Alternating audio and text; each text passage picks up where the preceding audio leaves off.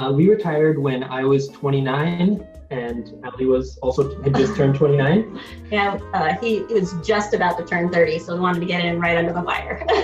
and we've been retired for about five years now.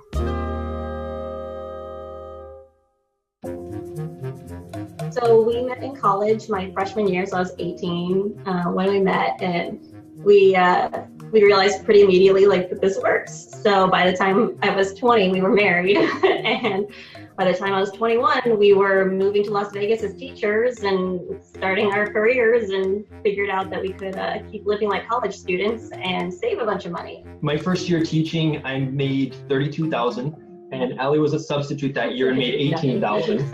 yeah. Um, so we weren't making a lot, but then she got a full-time job with the district and over the years our salary bumped up um, to where our final year we were making 44,000 each. So um, 88,000 combined.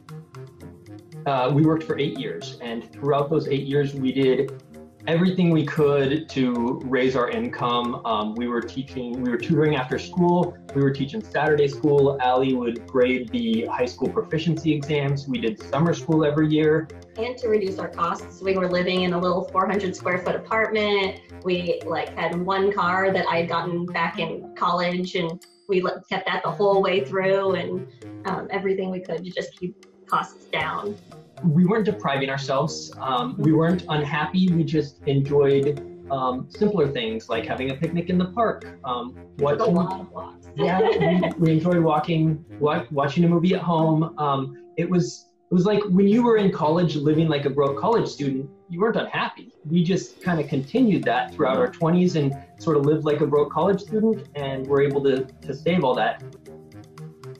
There was a huge housing crashed right in in the Great Recession, and Vegas got hit really hard. And um, I I was like, we should buy some rental properties. Oh, look how how cheap the prices are compared to what they were a year ago.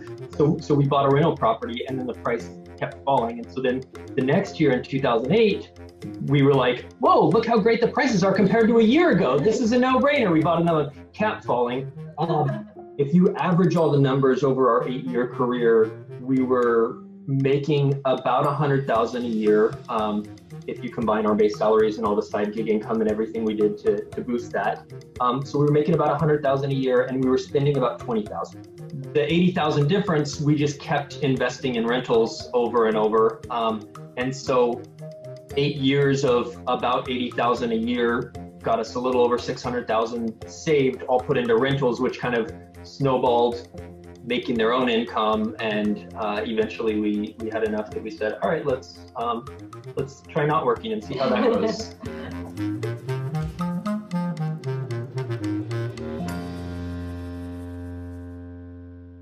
Invest in you. Ready, set, grow.